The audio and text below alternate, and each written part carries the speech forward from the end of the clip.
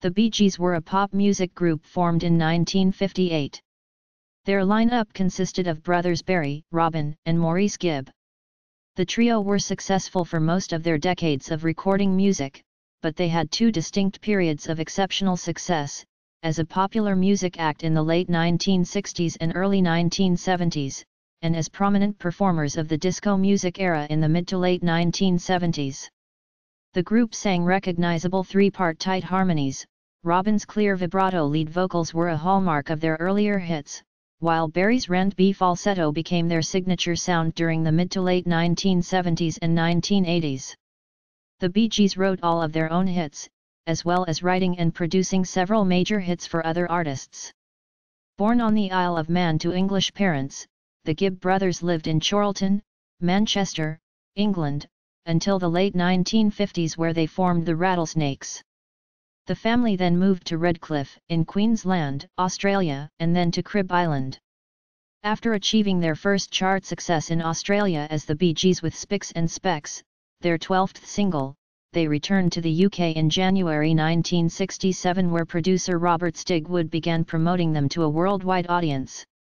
The Bee Gees have sold more than 220 million records worldwide, making them one of the world's best-selling music artists of all time. They were inducted into the Rock and Roll Hall of Fame in 1997.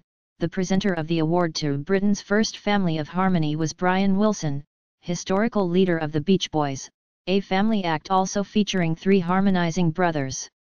The Bee Gees Hall of Fame citation says only Elvis Presley, the Beatles, Michael Jackson, Garth Brooks, and Paul McCartney have outsold the Bee Gees. Following Maurice's sudden death in January 2003 at the age of 53, Barry and Robin retired the group's name after 45 years of activity. In 2009 Robin announced that he and Barry had agreed that the Bee Gees would reform and perform again. Robin died in May 2012 at the age of 62, after a prolonged struggle with cancer and other health problems, leaving Barry as the only surviving member of the group's final, and best known, lineup. History. 1955-1966 Music origins, Bee Gees formation and popularity in Australia. In 1955, Barry Gibb along with his brothers Robin and Maurice Gibb moved back to their father Hugh Gibb's hometown of Chorlton cum Hardy, Manchester, England, and formed a skiffle-slash-rock and roll group the Rattlesnakes, which consisted of Barry on guitar and vocals, Robin and Maurice on vocals, with friends Paul Frost on drums and Kenny Horrocks on T-chest bass. In December 1957 the boys began to sing in harmony. The story is told that they were going to lip-sync to a record in the local Gaumont cinema, as other children had done on previous weeks, and as they were running to the theatre, the fragile shellac 78 RPM record broke. The brothers had to sing live and received such a positive response from the audience that they decided to pursue a singing career. In May 1958 the Rattlesnakes were disbanded when Frost and Horrocks left to form Wee Johnny Hayes and the Blue Cats. In August 1958 the Gibb family, including older sister Leslie and infant brother Andy, emigrated to Redcliffe, just northeast of Brisbane in Queensland, Australia. The young brothers began performing to raise pocket money. They were introduced to leading Brisbane radio DJ Bill Gates by Speedway promoter and driver Bill Goode, who had hired the brothers to entertain the crowd at the Redcliffe Speedway in 1960. The crowd at the Speedway would throw money onto the track for the boys who generally performed during the interval of meetings, usually on the back of a truck that drove around the track, and in a deal with Goode, any money that they collected from the crowd they were allowed to keep. Gates renamed them the BGs, later changed to Bee Gees, after his, Goode's, and Barry Gibb's initials thus the name was not specifically a reference to brothers Gibb, despite popular belief. The family relocated to Cribb Island which was later demolished for Brisbane Airport. While there, the brothers went to Northgate State School. By 1960 the Bee Gees were featured on television shows, including their performance of Time is Passing By. In the next few years they began working regularly at resorts on the Queensland coast. For his songwriter, Barry sparked the interest of Australian star Col Joye, who helped them get a record deal in 1963 with Festival Records subsidiary Leedon Records under the name Bee Gees. The three released two or three singles a year, while Barry supplied additional songs to other Australian artists. In 1962, the Bee Gees were chosen as the supporting act for Chubby Checker's concert at Sydney Stadium. From 1963 to 1966 the Gibb family lived at 171 Bunnerong Road Maroubra, Indiana, Sydney. Robin Gibb recorded the song Sydney, about the brothers' experience living in Sydney, just prior to his death. It was released on his posthumous album 50 St. Catherine's Drive. The house was demolished in 2016. A minor hit in 1965, Wine and Women, led to the group's first LP, the Bee Gees sing and play 14 Barry Gibb songs. By 1966 Festival was, however, on the verge of dropping them from the Leedon roster because of their perceived lack of commercial success. It was at this time that they met American-born songwriter, producer, and entrepreneur, Nat Kipner, who had just been appointed A&R manager of a new independent label, Spin Records. Kipner briefly took over as the group's manager and successfully negotiated their transfer to Spin in exchange for Festival being granted the Australian distribution rights to the group's recordings. Through Kipner the Bee Gees met engineer-producer, Ossie Byrne. He produced, or co-produced with Kipner, many of the earlier Spin recordings, most of which were cut at his own small self-built St. Clair studio in the Sydney suburb of Hurstville. Byrne gave the Gibb brothers virtually unlimited access to St. Clair studio over a period of several months in mid-1966. The group later acknowledged that this enabled them to greatly improve their skills as recording artists. During this productive time they recorded a large batch of original material including the song that would become their first major hit, Spicks and Specks, on which Byrne played the trumpet coda, as well as cover versions of current hits by overseas acts such as the Beatles. They regularly collaborated with other local musicians, including members of beat band Steve and the Board, led by Steve Kipner, Nat's teenage son. Frustrated by their lack of success, the Gibbs decided to return to England in late 1966. Ossie Byrne travelled with them and Colin Peterson, who eventually became the group's drummer, followed soon after. While at sea in January 1967, they learned that Spicks and Specks had been awarded Best Single of the Year by Go Set, Australia's most popular and influential music newspaper. 1967-1969, International Fame and Touring Years. Bee Gees' 1ST Horizontal and Idea. Before their departure from Australia to England, Hugh Gibbs sent demos to Brian Epstein, a promoter who managed the Beatles and directed NEMS, a British music store. Epstein passed the demo tapes to Robert Stigwood, who had recently joined NEMS. After an audition with Stigwood in February 1967, the Bee Gees signed a five-year contract whereby Polydor Records would release their records in the UK and Atco Records would do so in the US. Work quickly began on the group's first international album and Stigwood launched a promotional campaign to coincide with its release. Stigwood proclaimed that the Bee Gees were the most significant new talent of 1967, thus initiating the comparison of the Bee Gees to the Beatles. Before recording the first album they added Colin Peterson and Vince Melouney to the group. New York Mining Disaster 1941, their second British single, their first issued UK 45 RPM was Spicks and Specks, was issued to radio stations with a blank white label listing only the song title. Some DJs immediately assumed this was a new single by the Beatles and started playing the song in heavy rotation. This helped the song climb into the top 20 in both the UK and US. No such chicanery was needed to boost the Bee Gees' second single, To Love Somebody, into the US top 20. Originally written for Otis Redding, To Love Somebody, a soulful ballad sung by Barry, has since become a pop standard covered by many artists including the Flying Burrito Brothers, Rod Stewart, Bonnie Tyler, Janis Joplin, The Animals, Gary Puckett and the Union Gap, Nina Simone, Jimmy Somerville, Billy Corgan and Michael Bolton. Another single, Holiday, was released in the US, peaking at number 16. The parent album, Gees 1ST their first internationally, peaked at number 7 in the US and number 8 in the UK. Bill Shepherd was credited as the arranger. After recording that album, the group recorded their first BBC session at the Playhouse Theatre, Northumberland Avenue, in London, with Bill Bebb as the producer, and they performed three songs. That session is included on BBC Sessions, 1967-1973-2008. Following the release of Bee Gees 1ST the group was first introduced in New York as the English Surprise. At that time, the band made their first British TV appearance on Top of the Pops. Maurice recalled. In late 1967, they began recording for the second album. On December 21, 1967, for a live broadcast from Liverpool Anglican Cathedral, they performed their own song, Thank You for Christmas, which was recorded in the Horizontal Sessions but was not released until 2008, and also Silent Night and Hark. The Herald Angels Sing. The folk group The Settlers also performed on the same program and were conducted by the Very Reverend Edward H. Patey, Dean of the Cathedral. Ten days later, the band finished the year off with their Christmas Eve special, How on Earth.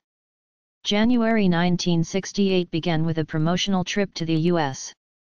The Los Angeles Police Department was on alert in anticipation of a Beatles-type reception and special security arrangements were being put in place. In February, Horizontal repeated the success of their first album, featuring their first UK number 1 single Massachusetts, a number 11 US hit, and the number 7 UK single World. The sound of the album Horizontal had a more rock sound than their previous release, though ballads like And the Sun Will Shine and Really and Sincerely were also prominent. The Horizontal album reached number 12 in the US and number 16 in the UK. Promoting the record, the group made their first appearance on US television on The Smothers Brothers show on CBS. Tommy Smothers had first encountered the band on a trip to London, and became their friend as well as a fan. That evening, Smothers wore a shirt which Maurice had bought for him at the Beatles' Apple boutique. With the release of Horizontal, they also embarked on a Scandinavian tour with concerts in Copenhagen. Around the same time, the Bee Gees turned down an offer to write and perform the soundtrack for the film Wonderwall according to director Joe Massot. On February 27, 1968, the band, backed by the 17-piece Massachusetts String Orchestra, began their first tour of Germany with two concerts at Hamburg Musikhalle. The band was supported by Procol Harum, who had a well-known hit A Whiter Shade of Pale, on their German tour in March 1968. As Robin's partner Molly Hullis recalls, Germans were wilder than the fans in England at the heights of Beatlemania. The tour schedule took them to 11 venues in as many days with 18 concerts played, finishing with a brace of shows at the Stadthalle, Braunschweig.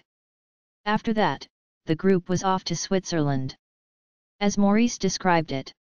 On March 17, the band performed on The Ed Sullivan Show performing Words. The other artists who performed on that night's show were Lucille Ball, George Hamilton, and Fran Jeffries. On March 27, 1968, the band performed at the Royal Albert Hall in London. Two more singles followed in early 1968, the ballad Words, number 8 UK, number 15 US, and the double A-sided single Jumbo B/W the singer sang his song. Jumbo was the Bee Gees' least successful single to date only reaching number 25 in the UK and number 57 in the US. The Bee Gees felt that the singer sang his song was the stronger of the two sides, an opinion shared by listeners in the Netherlands who made it a number 3 hit. Further Bee Gees chart singles followed, I've Gotta Get a Message to You, their second UK number 1, number 8 US, and I Started a Joke, number 6 US, both culled from the band's third album Idea. Dot. Idea reached number 4 in the UK and was another top 20 album in the US, number 17. Following the tour and TV special to promote the album, Vince Melouney left the group, feeling that he wanted to play more of a blues-style music than the Gibbs were writing. Melouney did achieve one feat while with the Bee Gees his compositions such as Shame, from Idea, is the only song on any Bee Gees album not written by a Gibb brother. The group also filmed a BBC television special with Frankie Howerd called Frankie Howerd Meets the Bee Gees, written by Ray Galton and Alan Simpson. This gave the group the opportunity to show their own comedy skills in sketches with Howerd. The band were due to begin a seven-week tour of the US on August 2, 1968, but on July 27, Robin collapsed and fell unconscious. He was admitted to a London nursing home suffering from nervous exhaustion and the American tour was postponed. The band started to record their sixth album and this resulted in spending a week recording at Atlantic Studios in New York. Robin, not feeling well, missed the New York sessions, but the rest of the band put away instrumental tracks and demos. Odessa, Cucumber Castle and Break Up. By 1969, the cracks started to show within the group as Robin began to feel that Stigwood had been favoring Barry as the frontman. The Bee Gees' performances in early 1969 on the Top of the Pops and The Tom Jones Show performing I Started a Joke and 1st of May as a medley was one of the last live performances of the group with Robin. Their next album, which was to have been a concept album called Masterpiece, evolved into the double album Odessa. Most rock critics felt this was the best Bee Gees album of the 1960s with its progressive rock feel on the title track, the country-flavored Marley Purt Drive and Give Your Best, and ballads such as Melody Fair and First of May, the last of which became the only single from the album and was a minor hit. Feeling that the flip side, Lamplight, should have been the A-side, Robin quit the group in mid-1969 and launched a solo career. The first of many Bee Gees compilations, Best of Bee Gees, was released featuring the non-LP single Words plus the Australian hit Spicks and Specks. The single Tomorrow Tomorrow was also released and was a moderate hit in the UK reaching number 23, but only number 54 in the US. The compilation reached the top 10 in both the UK and the US. While Robin pursued his solo career, Barry, Maurice, and Peterson continued on as the Bee Gees recording their next album, Cucumber Castle. The band made their debut performance without Robin at Talk of the Town. They had recruited their sister, Leslie, into the group at this time. There was also a TV special filmed to accompany the album which aired on the BBC in 1971. Peterson played drums on the tracks recorded for the album, but was fired from the group after filming began, he went on to form the Humpy Bong with Jonathan Kelly. His parts were edited out of the final cut of the film, and Pentangle drummer Terry Cox was recruited to complete the recording of songs for the album. After the album was released in early 1970, it seemed that the Bee Gees were finished.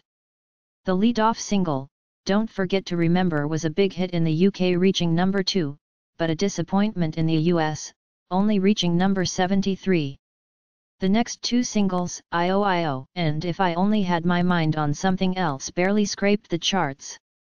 On December 1, 1969, Barry and Maurice parted ways professionally. Maurice started to record his first solo album The Loner which was not released. Meanwhile, he released the single Railroad, and starred in the West End musical Sing a Rude Song.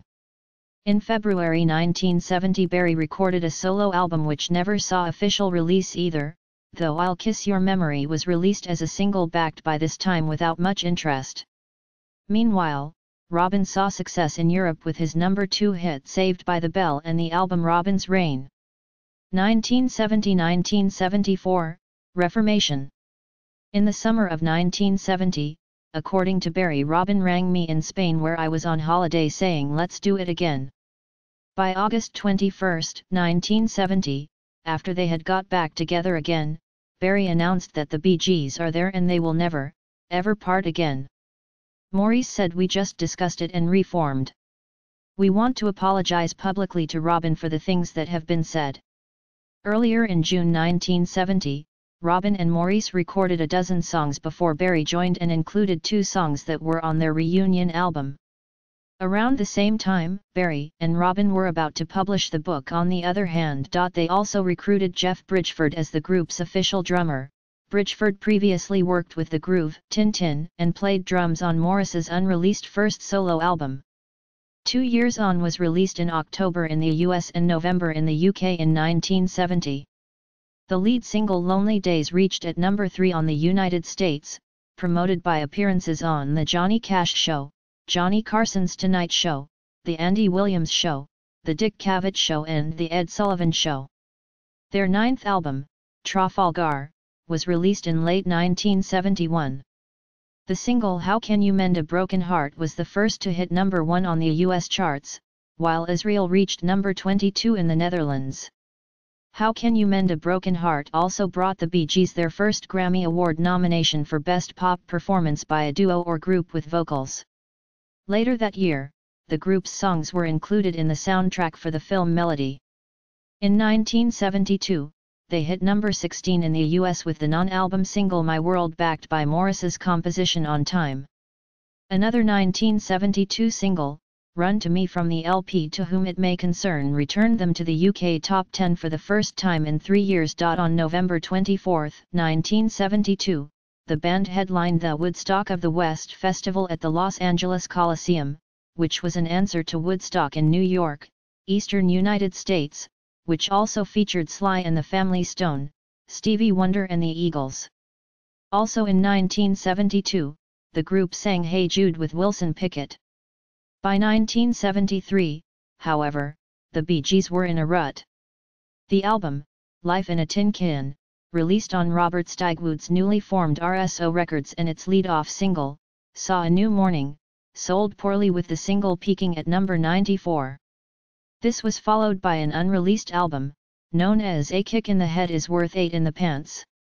A second compilation album, Best of Gees, Volume 2 was released in 1973 though it did not repeat the success of Volume 1. On April 6, 1973 episode of The Midnight Special they performed Money, That's What I Want, with Jerry Lee Lewis. Also in 1973, they were invited by Chuck Berry to perform with him on stage at the Midnight Special performing Johnny B. Goode as well as Reelin' and Rockin'. After a tour of United States in early 1974, the group ended up playing small clubs. As Barry joked, we ended up in, have you ever heard of Batley's The Variety Club in, Leeds, England? On the advice of Ahmet Ertegun, head of their US label Atlantic Records, Stigwood arranged for the group to record with famed soul music producer Arif Mardin. The resulting LP, MR Natural, included fewer ballads and foreshadowed the R&B direction of the rest of their career. But when it too failed to attract much interest, Mardin encouraged them to work within the soul music style. The brothers attempted to assemble a live stage band that could replicate their studio sound. Lead guitarist Alan Kendall had come on board in 1971, but did not have much to do until MR Natural. For that album, they added drummer Dennis Bryon, and they later added ex-Strawbs keyboard player Blue Weaver, completing the Bee Gees band that lasted through the late 70s. Maurice, who had previously performed on piano, guitar, harpsichord, electric piano, organ, mellotron, and bass guitar, as well as mandolin and Moog synthesizer, now confined himself to bass on stage. 1975-1979, turning to disco. Main course and Children of the World. At Eric Clapton's suggestion, the brothers relocated to Miami, Florida, early in 1975 to record. After starting off with ballads, they eventually heeded the urging of Mardin and Stigwood and crafted more dance-oriented disco songs, including their second US number 1, Jive Talkin', along with US number 7 Nights on Broadway. The band liked the resulting new sound. This time the public agreed by sending the LP main course up the charts. This album included the first Bee Gees songs where Barry used falsetto, something that would later become a trademark of the band. This was also the first Bee Gees album to have two US top 10 singles since 1968's Idea. Main Course also became their first charting R&B album. On the Bee Gees' appearance on the Midnight Special in 1975 to promote Main Course, they sang To Love Somebody with Helen Reddy. Around the same time, the Bee Gees recorded three Beatles covers Golden Slumbers slash Carry That Weight, She Came In Through the Bathroom Window with Barry providing lead vocals and Sun King with Maurice providing lead vocals, for the unsuccessful musical slash documentary All This and World War II. The next album, Children of the World released in September 1976 was drenched in Barry's newfound falsetto and Weaver's synthesizer disco licks. Mardin was unavailable to produce, so the Bee Gees enlisted Albhy Galuten and Karl Richardson, who had worked with Mardin during the main course sessions. This production team would carry the Bee Gees through the rest of the 1970s. The first single from the album was You Should Be Dancing, which features percussion work by musician Stephen Stills. The song pushed the Bee Gees to a level of stardom they had not previously achieved in the US, though their new R&B slash disco sound was not as popular with some die-hard fans. The pop ballad Love So Right reached number 3 in the US, and Boogie Child reached US number 12 in January 1977. The album peaked at number 8 in the US. A compilation Bee Gees Gold was released in November, containing the group's hits from 1967 to 1972. Saturday Night Fever and Spirits Having Flown. Following a successful live album, Here at Last. Bee Gees Live, the Bee Gees agreed with Stigwood to participate in the creation of the Saturday Night Fever soundtrack. It would be the turning point of their career. The cultural impact of both the film and the soundtrack was seismic throughout the world, prolonging the disco scene's mainstream appeal. The band's involvement in the film did not begin until post-production. As John Travolta asserted, the Bee Gees weren't even involved in the movie in the beginning and MSP. I was dancing to Stevie Wonder and Boz Scaggs. Producer Robert Stigwood commissioned the Bee Gees to create the songs for the film. The brothers wrote the songs virtually in a single weekend at Chateau d'Hérouville studio in France. Barry Gibb remembered the reaction when Stigwood and music supervisor Bill Oakes arrived and listened to the demos. Quote, they flipped out and said these will be great. We still had no concept of the movie, except some kind of rough script that they'd brought with theme and MSP. You've got to remember, we were fairly dead in the water at that point, 1975, Somewhere in that zone the Gees sound was basically tired. We needed something new. We hadn't had a hit record in about three years. So we felt, oh geez, that's it. That's our lifespan, like most groups in the late 60s. So, we had to find something. We didn't know what was going to happen.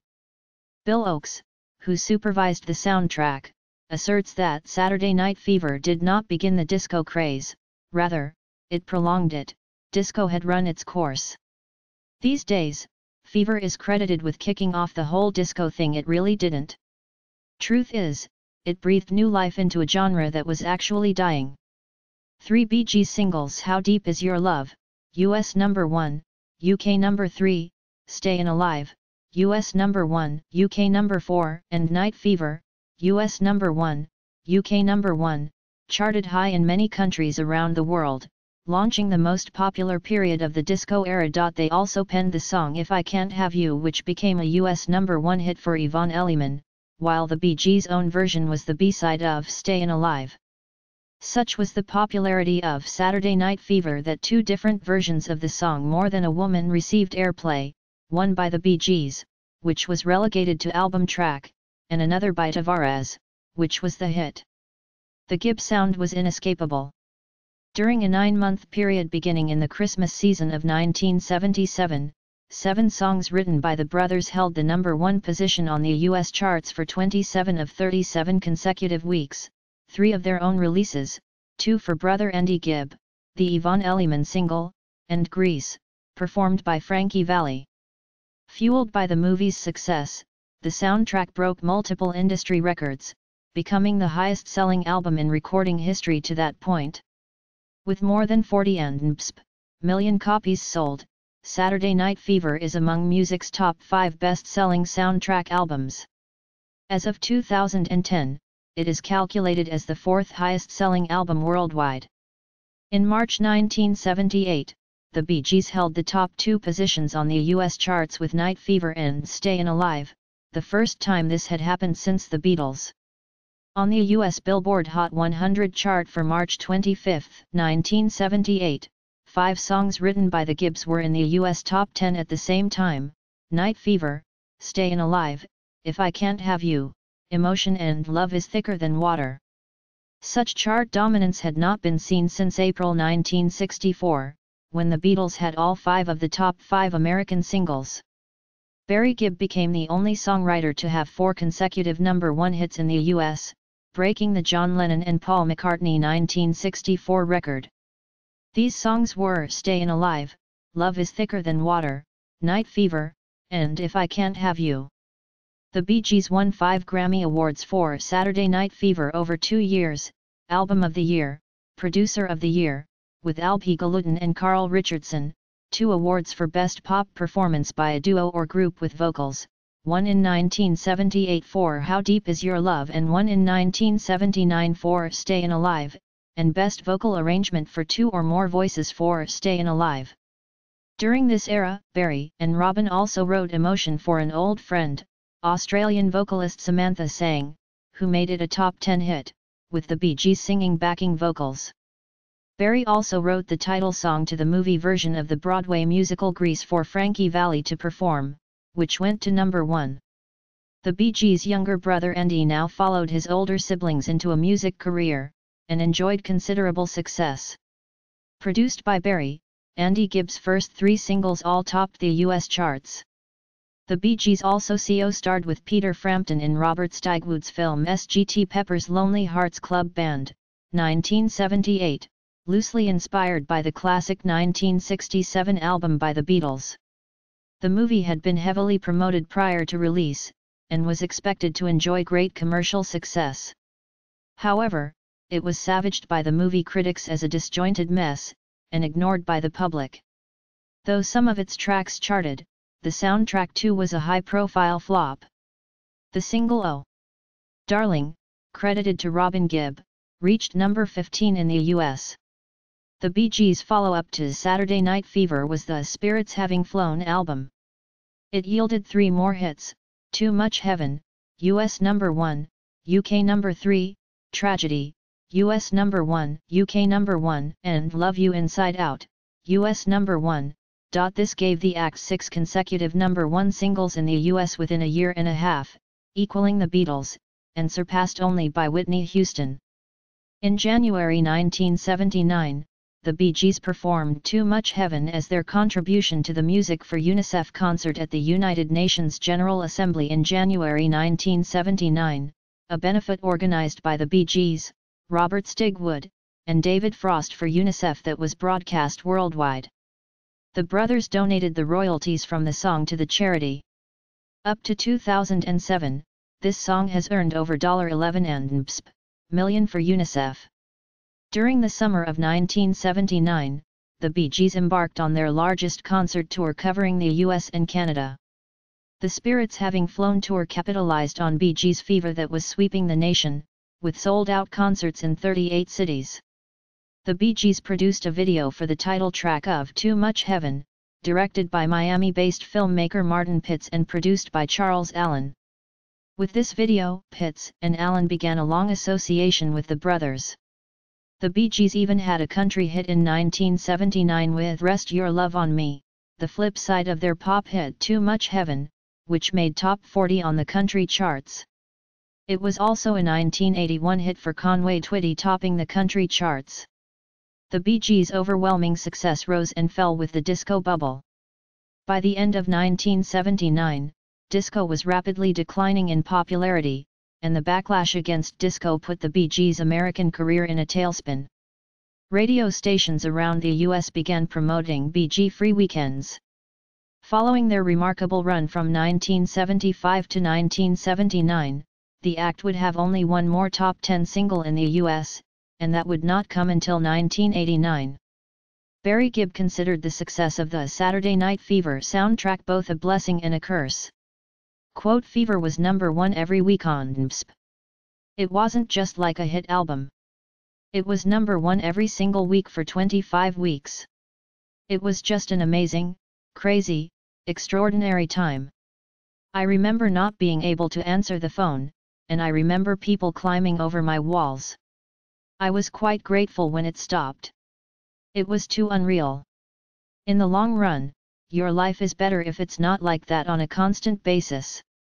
Nice though it was. 1980-1986, outside projects, band turmoil, solo efforts, and decline. Robin Co. produced Jimmy Ruffin's Sunrise released in May 1980 but the songs were started in 1979, the album contains songs which were written by the Gibb brothers. In March 1980, Barry Gibb worked with Barbra Streisand on her album Guilty. He CO produced and wrote or CO wrote all nine of the album's tracks, four of them written with Robin and the title track with both Robin and Maurice. Barry also appeared on the album's cover with Streisand, and duet with her on two tracks. The album reached number one in both the US and the UK, as did the single Woman in Love, written by Barry and Robin, becoming Streisand's most successful single and album to date. Both of the Streisand-slash-Gibb duets, Guilty and What Kind of Fool, also reached the US top 10. In October, the Bee Gees regrouped to record songs that would go on to their upcoming album but wasn't continued and Weaver, Kendall, returned in 1987, and Brian left the group and the brothers later recruited some studio musicians. In 1981, the Bee Gees released the album Living Eyes, their last full-length album release on RSO. This album was the first CD ever played in public, when it was played to viewers of the BBC show Tomorrow's World. With the disco backlash still running strong, the album failed to make the UK or US top 40 breaking their streak of top 40 hits, which started in 1975 with Jive Talkin'. Two singles from the album fared little better He's a Liar, reaching number 30 in the US and Living Eyes, reaching number 45. In 1982, Dionne Warwick enjoyed a UK number 2 and US adult contemporary number 1 hit with her comeback single, Heartbreaker, taken from her album of the same name written largely by the Bee Gees and CO produced by Barry Gibb. The album reached number 3 in the UK and the top 30 in the US, where it was certified gold. A year later Dolly Parton and Kenny Rogers recorded the Bee Gees' pen track Islands in the Stream, which became a US number 1 hit and entered the top 10 in the UK. Rogers' 1983 album, Eyes That See in the Dark, was written entirely by the Bee Gees and CO produced by Barry. The album was a top 10 hit in the US and was certified double platinum. The Bee Gees had greater success with the soundtrack to Staying Alive in 1983, the sequel to Saturday Night Fever. The soundtrack was certified platinum in the US, and included their top 30 hit The Woman in You. Also in 1983, the band was sued by Chicago songwriter Ronald Sell, who claimed that the brothers stole melodic material from one of his songs, Let It End, and used it in How Deep Is Your Love. At first, the Bee Gees lost the case, one juror said that a factor in the jury's decision was the Gibbs' failure to introduce expert testimony rebutting the plaintiff's expert testimony that it was impossible for the two songs to have been written independently. However, the verdict was overturned a few months later. In August 1983, Barry had signed a solo deal with MCA Records and he spent much of late 1983 and 1984 writing songs for this first solo effort, Now Voyager. While Robin, on the other hand, released three solo albums in the 80s, How Old Are You, Secret Agent and Walls Have Eyes. And Maurice released his second single up to date Hold Her in Your Hand for the first time since 1970. In 1985, Diana Ross released the album Eaten Alive, written by the Bee Gees, with the title track CO written with Michael Jackson, who also performed on the track. The album was again CO produced by Barry Gibb and the single Chain Reaction gave Ross a UK and Australian number one hit. 1987-1999, comeback and return to popularity. The Bee Gees released the album E.S.P. in 1987, which sold over 3 and million copies. It was their first album in six years, and their first for Warner Brothers Records. The single You Win Again went to number one in numerous countries, including the UK, and made the Bee Gees the first group to score a UK number one hit in each of three decades, the 1960s, 1970s, and 1980s. The single was a disappointment in the US, charting at number 75, and the Bee Gees voiced their frustration over American radio stations not playing their new European hit single, an omission which the group felt led to poor sales of their current album in the US. The song won the Bee Gees the 1987 British Academy's Ivor Novello Award for Best Song Musically and Lyrically, and in February 1988 the band received a Brit Award nomination for Best British Group. On March 10, 1988, younger brother Andy died, aged 30, as a result of myocarditis, an inflammation of the heart muscle due to a recent viral infection. His brothers acknowledge that Andy's past drug and alcohol use probably made his heart more susceptible to this illness. Just before Andy's death, the brothers had decided that Andy would join them, which would have made them a four-piece group. The Bee Gees' following album, 1, 1989, featured a song dedicated to Andy, Wish You Were Here. The album also contained their first US top 10 hit, number 7, in a decade, 1, an adult contemporary number 1. After the album's release, the band embarked on its first world tour in 10 years.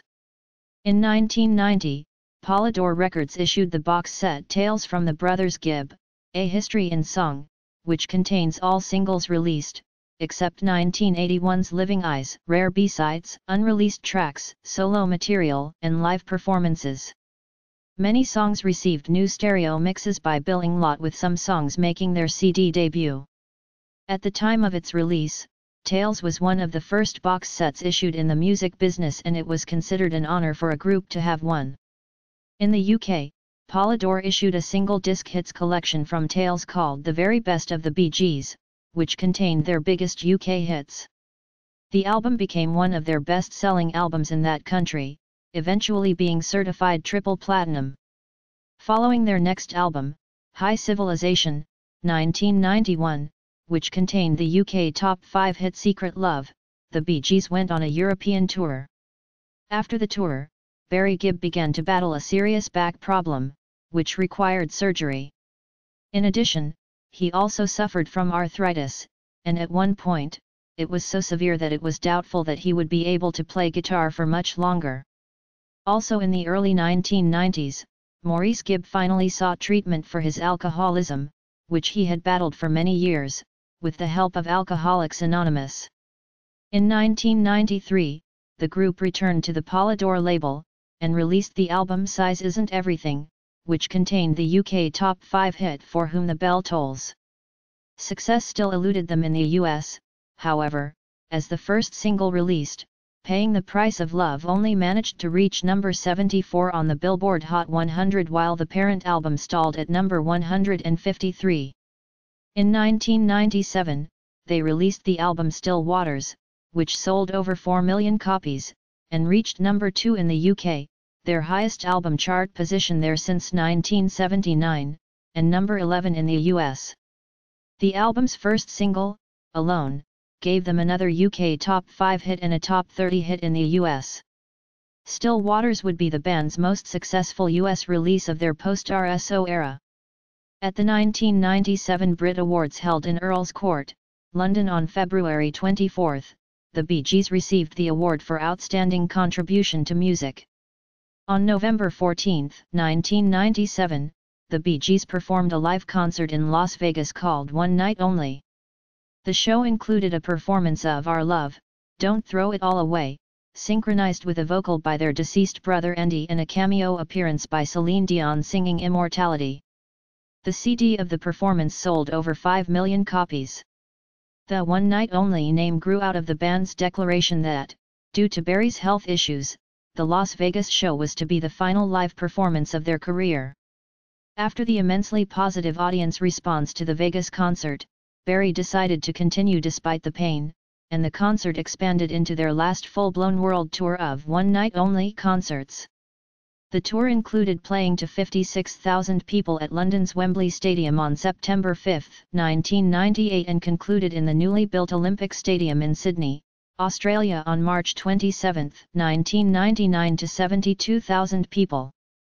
In 1998, the group's soundtrack for Saturday Night Fever was incorporated into a stage production produced first in the West End and then on Broadway. They wrote three new songs for the adaptation. Also in 1998 the brothers recorded Ellan Vannin for Isle of Man Charities. Known as the unofficial national anthem of the Isle of Man, the brothers performed the song during their world tour to reflect their pride in the place of their birth. The Bee Gees closed the decade with what turned out to be their last full-sized concert, known as BG2K on December 31, 1999. 2000-2008, This Is Where I Came In and Maurice's Death. In 2001, the group released what turned out to be their final album of new material as a group, This Is Where I Came In. The album was another success, reaching the top 10 in the UK, being certified gold, and the top 20 in the US. The title track was also a UK top 20 hit single. The album gave each member of the group a chance to write in his own way, as well as composing songs together. For example, Maurice's compositions and leads are The Man in the Middle and Walking on Air, while Robin contributed Deja Vu, Promise the Earth, and Embrace, and Barry contributed Loose Talk Costs Lives, Technicolor Dreams, and Voice in the Wilderness. The other songs are collaborative in writing and vocals. They performed many tracks from This Is Where I Came In, plus many of their biggest hits, on the live televised concert series Live by Request, shown on the Ondi network.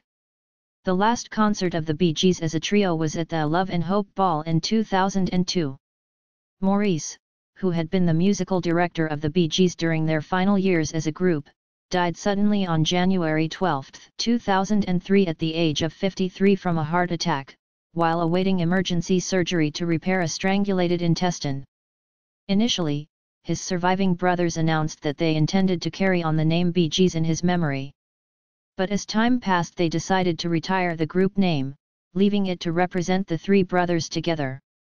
The same week that Maurice died, Robin's solo album Magnet was released. On February 23, 2003, the Bee Gees received the Grammy Legend Award, they also became the first recipients of that award in the 21st century. Barry and Robin accepted as well as Maurice's son, Adam, in a tearful ceremony. Although there was talk of a memorial concert featuring both surviving brothers and invited guests, nothing materialized. Barry and Robin continued to work independently, and both released recordings with other artists, occasionally coming together to perform at special events.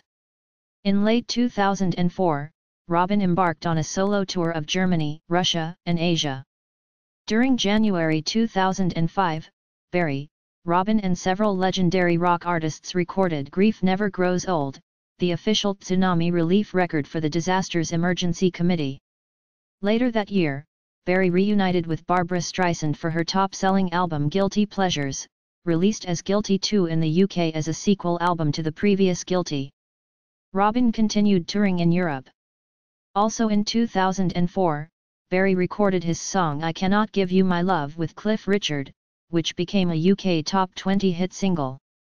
In February 2006, Barry and Robin reunited on stage for a Miami charity concert to benefit the Diabetes Research Institute. It was their first public performance together since the death of brother Maurice. Barry and Robin also played at the 30th annual Prince's Trust concert in the UK on May 20, 2006. In October 2008, Robin performed a couple of songs in London as part of the BBC Electric Proms Saturday Night Fever performance. This involved various other performers and the BBC Concert Orchestra and was screened on the BBC and BBC Interactive Services. 2009-2012, returned to performing and Robin's death. In an interview with Easy Mix Radio host Tim Roxburgh on September 1, 2009, Barry's 63rd birthday, Barry commented on future tours saying that they will be back, but in an agreement with Warner slash Rhino they would not make an announcement at that time. On September 7, 2009, Robin disclosed to Jonathan Agnew that he had been in touch with Barry and that they had agreed that the Bee Gees would reform and perform again. Barry and Robin performed on the BBC's Strictly Come Dancing on October 31, 2009 and appeared on ABC TV's Dancing with the Stars on November 17, 2009. On March 15, 2010, Barry and Robin inducted the Swedish group ABBA into the Rock and Roll Hall of Fame. On May 26, 2010, the two made a surprise appearance on the ninth season finale of American Idol. On November 20, 2011 it was announced that Robin Gibb, at 61 years old, had been diagnosed with liver cancer, a condition he had become aware of several months earlier. He had become noticeably thinner in previous months and had to cancel several appearances due to issues with severe abdominal pain. On February 13, 2012, Robin joined British military trio The Soldiers for the Coming Home charity concert at the London Palladium, in support of injured servicemen. It was his first public appearance for almost five months, and his final. On April 14, 2012, it was reported that Robin had contracted pneumonia in a Chelsea hospital and was in a coma. Although he came out of his coma on April 20, 2012, his condition deteriorated rapidly, and he died on May 20, 2012. With Robin's death, Barry became the last surviving Gibb brother, and the Bee Gees dissolved as a musical group. 2013 present, looking back at a lifetime of music. In September and October 2013, Barry performed his first solo tour in honor of his brothers in a lifetime of music. In addition to the Rhino collection, the studio albums, 1967-1968 Warner Brothers released a box set in 2014 called The Warner Brothers Years, 1987-1991 that included the studio albums E.S.P. 1, and High Civilization as well as extended mixes and B-sides. It also included the band's entire 1989 concert in Melbourne, Australia, available only on video as All for One prior to this release. The documentary The Joy of the Bee Gees is aired on BBC 4 on December 19, 2014. In 2015, 13STAR Records released a box set 1974-1979 by March 23 which included the studio albums MR Natural, Main Course, Children of the World and Spirits Having Flown. A fifth disc called The Miami Years includes all the tracks from Saturday Night Fever as well as B-sides. No unreleased tracks from the era were included. After a hiatus from performing, Barry Gibb returned to solo and guest singing performances. He occasionally appears with his son, Stephen Gibb, who declined to use the Bee Gees brand mainly because of his much more different style. The Bee Gees have signed a new distribution deal with Capitol Records, bringing them back to Universal. Influences The Bee Gees were influenced by the Beatles, the Everly Brothers, the Mills Brothers, Elvis Presley, the Rolling Stones, Roy Orbison the Beach Boys and Stevie Wonder. On the 2014 documentary The Joy of the Bee Gees, Barry claimed that the Bee Gees were also influenced by the Hollies and Otis Redding. Legacy Brian May of Queen said, Of course I was, and am a huge fan of the Bee Gees' creations in music. Undoubtedly at the pinnacle of songwriting considered over the last 30 years, is it? My fondest recollections are not of the SNF days, which were really a rebirth in the Bee Gees' popularity, but the early groundbreaking song Sandpsp. I remember singing these songs with my pal Tim Staffel of Smile and Freddie Mercury in the real old days. May also praised the song You Win Again as one of the greatest songs of the 80s. In his 1980 Playboy magazine interview, John Lennon praises the Bee Gees, try to tell the kids in the 70s who were screaming to the Bee Gees that their music was just the Beatles redone. There is nothing wrong with the Bee Gees. They do a damn good job. There was nothing else going on then. Michael Jackson, who was also influenced by the Bee Gees says, I cried listening to their music. I knew every note, every instrument. Paul McCartney recalls it was the mining disaster song that Robert Stigwood played me, I said sign them, they're great.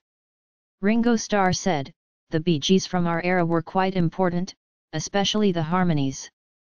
In a 2007 interview with Duane Hitchings, who co wrote Rod Stewart's 1978 disco song Do You Think I'm Sexy, noted that the song was.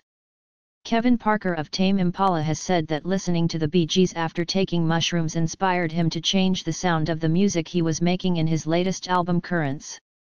Barry Gibb once said, When we first came out, Jimi Hendrix said we were two-year-old Beatles.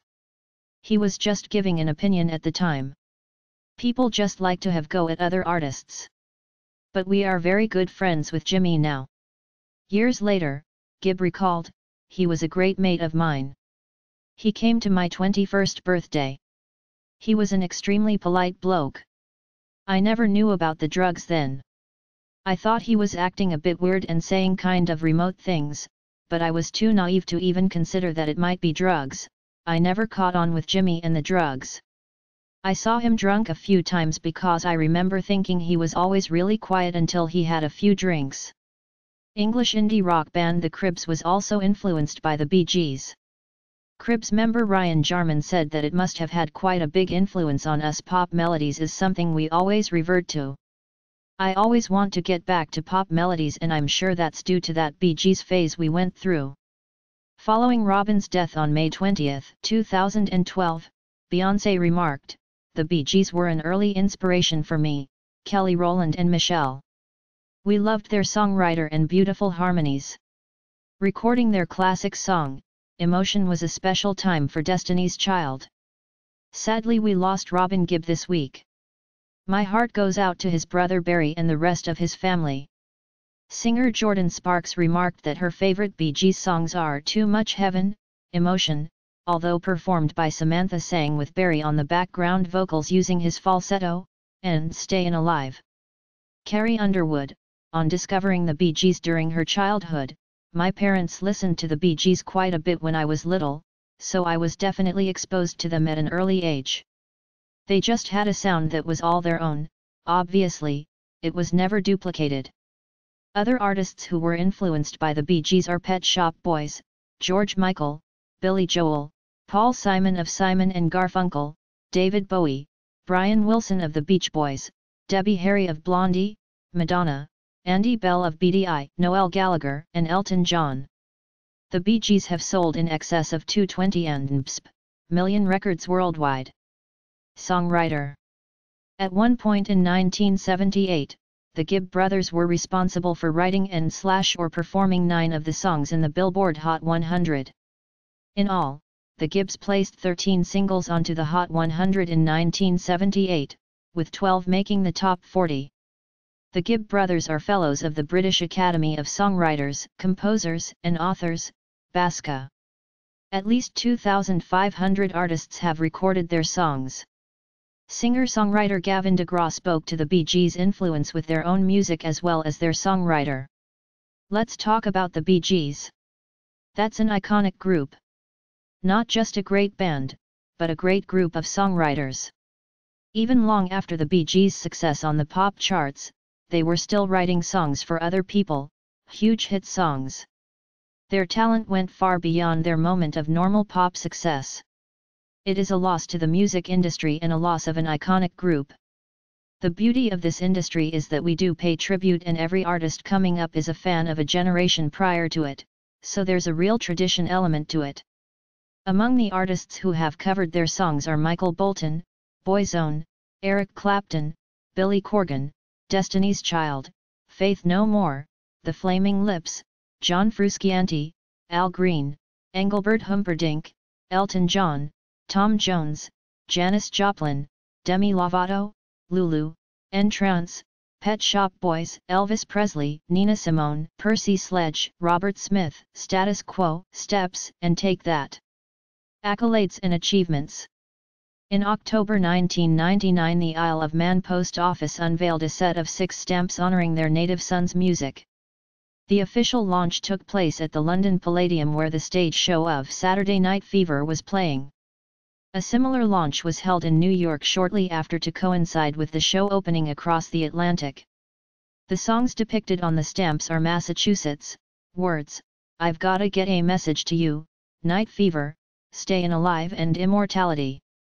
In 1978, following the success of Saturday Night Fever, and the single Night Fever in particular, Reubin Askew, the governor of the U.S. state of Florida, named the Bee Gees honorary citizens of the state, since they resided in Miami at the time. In 1979, the Bee Gees got their star on the Hollywood Walk of Fame. They were inducted in 1994 on the Songwriters Hall of Fame, as well as Florida's Artists Hall of Fame in 1995, ARIA Hall of Fame in 1997. Also in 1997, the Bee Gees were inducted into the Rock and Roll Hall of Fame. In 2001, they were inducted on the Vocal Group Hall of Fame. After Maurice's death, the Bee Gees inducted in Dance Music Hall of Fame in 2001, London's Walk of Fame in 2006 and Musically Speaking Hall of Fame in 2008. And on May 15, 2007, the Bee Gees were named BMI Icons at the 55th Annual BMI Pop Awards. Collectively, Barry, Maurice and Robin Gibb have earned 109 BMI Pop, Country, and Latin awards. All three brothers, including Maurice, posthumously, were appointed commanders in the Order of the British Empire in December 2001 with the ceremony taking place at Buckingham Palace on May 27, 2004. On July 10, 2009, the Isle of Man's capital bestowed the Freedom of the Borough of Douglas honour on Barry and Robin, as well as posthumously on Maurice. On November 20, 2009, the Douglas Borough Council released a limited edition commemorative DVD to mark their naming as Freemen of the Borough. On February 14, 2013, Barry Gibb unveiled a statue of the Bee Gees, as well as unveiling Gees Way, a walkway filled with photos of the Bee Gees, in honor of the Bee Gees in Redcliffe, Queensland, Australia. Band members Barry Gibb played rhythm guitar. During the early 1970s, Robin Gibb played piano and violin occasionally, after which, he only played strings and keyboards privately.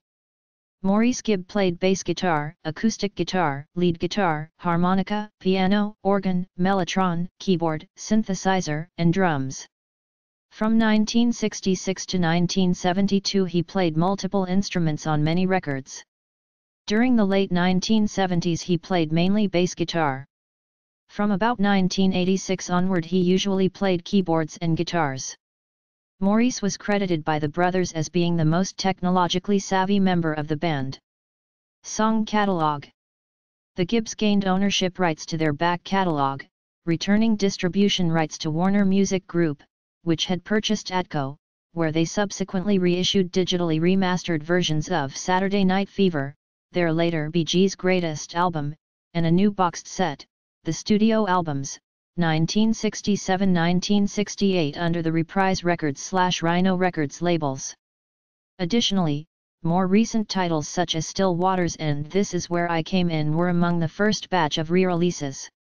The band's three Warner Brothers releases, ESP, One and High Civilization were also made available on iTunes for the first time since the albums went out of print in North America in the mid-90s. According to Robin Gibb's website, three more reissues were planned for the 2008 holiday season, Best of Gees, Best of Gees, Volume 2 and Love Songs. The double album Odessa was released on January 13, 2009 in a special 3-disc deluxe edition complete with the original red velvet cover with remastered stereo and mono versions of the album as well as alternate versions and unreleased tracks. Since the remastered release of Odessa, Rhino has stopped reissuing original Gees albums and there has not been any announcement as to when the remaining albums will be remastered. In December 2016, Capitol Records assumed distribution rights for the entire Gees catalog. Ellan Vannin was recorded in 1997 as a 1000 quantity limited edition single for Isle of Man Charities. The song was featured in the Gees World Tour and on ITV's An Evening with NMSP but to date has not been released generally. The single was subsequently also available as part of the 1999 Bee Gees stamp issue. In conjunction with the 50th anniversary of the Bee Gees, when they started calling themselves Bee Gees in 1959, Rhino Records have released two new collections. Mythology is a four-disc collection highlighting each brother, including Andy, with tracks personally selected by Barry, Robin, Maurice's wife Yvonne, with his children Adam and Samantha, and Andy's daughter Peta. Maurice's disc contains two unreleased tracks called Angel of Mercy and The Bridge. Andy's disc contains the unreleased track Arrow Through the Heart. Mythology also features a scrapbook of family photos, many never before published, along with tributes from artists such as George Martin, Brian Wilson, Elton John, Graham Nash, and the band's longtime manager Robert Stigwood. The second collection, the Ultimate Bee Gees, is a more modest two-disc 40-track collection highlighting their biggest hits and includes a bonus DVD of unreleased videos, previously unreleased television appearances, live performances, and promo videos. Each disc is themed, with the first disc being the more upbeat songs called A Night Out and the second disc being more ballad-focused called A Night In.